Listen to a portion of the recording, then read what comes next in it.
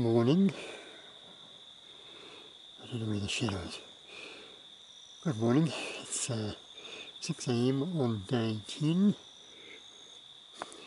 Uh, right, I'm leaving Taumarunui, heading for Ōwhango, and then Whakahoro, and then the bridge to nowhere, and then down to Mangapurua Trig where we'll get picked up by a jet boat and taken down to Pipiriki and we're staying there the night.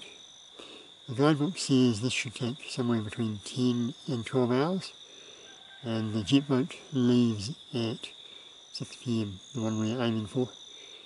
So we should be fine.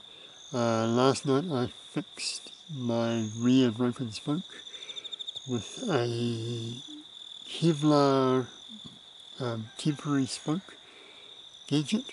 Um, basically a Kevlar string with a um, thread on the end of it.